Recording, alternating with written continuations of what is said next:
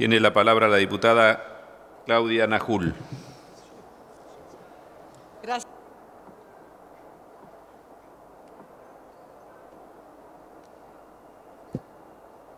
¿Escucha? Sí. ¿Escucha? Gracias, señor presidente. Voy a hablar después de una profunda reflexión, con una gran sensibilidad, porque sé las emociones eh, válidas y encontradas que este proyecto está generando en muchísimos argentinos y argentinas donde tanto en el Congreso como en cada familia, en cada escuela, en cada plaza, en cada universidad, en cada medio de comunicación se está debatiendo este tema, considerando que es eh, un debate histórico y además el hecho político más importante de los últimos años.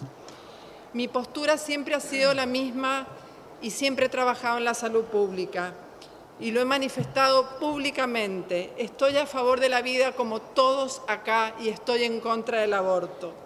Tanto cuando me desempeñé en la legislatura provincial como senadora, como mi paso como ministra de Salud, como ahora como diputada nacional, siempre he trabajado para que menos mujeres aborten, para que los niños y niñas sean deseados, por la salud integral de la mujer. Sin embargo, considero que esta ley que vamos a tratar con una gran convicción es un paso adelante para la salud pública de la Argentina. Y voy a explicar por qué. Señor presidente, hoy no estamos debatiendo si los abortos se hacen o no se hacen. Los abortos se hacen en la Argentina y en todo el mundo. No hay un país donde no se realice esta práctica. Lo que varía es cómo los países interpretan e intervienen en este problema. En los países con leyes restrictivas y punitivas como la nuestra, donde llevamos más o casi 100 años de una ley eh, punitiva, no hemos logrado disuadir, prevenir, evitar un solo aborto. Al contrario, cada vez tenemos más abortos inseguros. Y según las cifras oficiales del ministro de Salud, que son las cifras que se sacan por estadísticas de cada hospital público de la República Argentina. No se pueden dudar de esas cifras, son oficiales. Hay en el año por lo menos o alrededor de 50.000 mujeres que se hospitalizan eh, por graves consecuencias derivadas de abortos clandestinos. Y la, la punta de este iceberg es la más terrible de las tragedias. Hay más de 40 mujeres que mueren. No debe haber una tragedia peor para una familia que la muerte de una madre. Está comprobado que eso trae que los niños mueran antes, se enfermen más o dejen la escuela. Es así y tenemos en la Argentina una tasa de mortalidad materna estable y que no baja por este tema, porque la principal causa directa de la mortalidad materna son los abortos inseguros.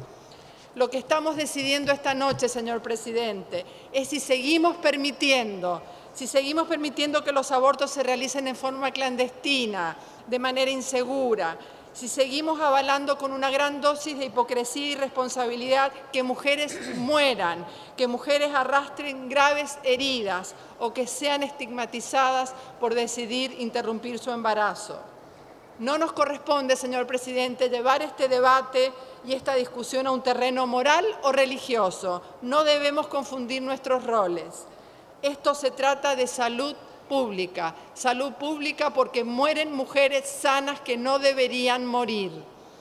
Esto se trata también de un gran tema de desigualdad, porque no es lo mismo el aborto en una mujer rica que en una mujer pobre, señor presidente. La peor de las desigualdades la que separa a ricos y a pobres.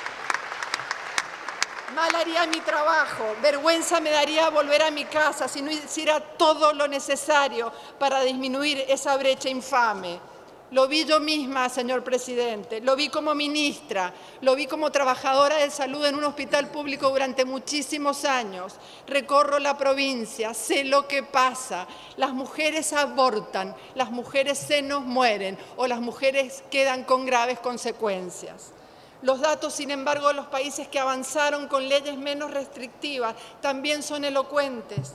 Han logrado bajar la tasa de abortos. España que hace seis años legalizó tiene un 20% menos. Eso es lo que buscamos, menos abortos. También han reducido la tasa de repitencia, por eso agregamos el tema de consejerías, para que toda mujer se vaya con un método anticonceptivo y evitar esto. Y lo más importante, estos países han llevado la tasa de mortalidad a cero en muchos de ellos, por abortos, por supuesto. Esta ley no viene a promover el aborto, muy por el contrario, esta ley garantiza un Estado presente, que no tira la pelota afuera, que juega todo el partido, porque salud pública es prevenir, es educar, es contener y es proteger, señor presidente. Por otro lado, creo que tenemos que hacer un gran esfuerzo para explicar qué estamos votando, a quienes están de acuerdo, pero sobre todo a los que no. Dediquemos toda nuestra energía para sacar miedos, para derribar mitos, actuemos con responsabilidad, respondamos con solvencia cada duda y sobre todo asimilemos con empatía cada angustia. Les propongo una breve tarea. Repasemos qué pasó en 1987, cuando en este mismo Congreso se debatió y se aprobó el divorcio. Periodistas y editoriales llenaban los diarios diciendo que era el fin de la familia, que iban a haber niños tirados en cada esquina. Nada de eso pasó. Nada de eso pasó. Fue solamente que se saldó una deuda histórica que tenía la democracia. La criminalización del aborto no ha hecho más que alimentar ese triángulo infame de desigualdad, clandestinidad y muerte. Cuando una mujer decide abortar, a pesar del apoyo que tenga del Estado, la ecuación es muy simple, permitimos que lo haga de forma insegura o le garantizamos una intervención en un hospital. La rodeamos de policías y de jueces o de profesionales de la salud que la contengan. no demos más vueltas, señor presidente. Esta ley se trata de un marco legal que va a salvar vidas. Un minuto más. Repito, va a salvar vidas garantizando el acceso a un servicio de salud pública de calidad y preservando la libertad de decidir. Quiero dirigirme a aquellos que no están de acuerdo en mi provincia con esta ley. Quiero decirles que como siempre voy a seguir escuchándolos. Quiero decirles que estén tranquilos, que esto no obliga a nadie, que esto no intenta convencer ni cambiar la forma de pensar a nadie. Y a quienes apoyan este proyecto y están haciendo fuerza para que esto se convierta en ley, todas las chicas que están afuera y en cada provincia, que cuenten con mi voto, que tienen una diputada que las representa, una diputada que lleva adelante el mandato por el cual fue elegido, interpretar las realidades y hacer un país más justo, más tolerante, más humano y más presente. Muchas gracias. Gracias, señora diputada.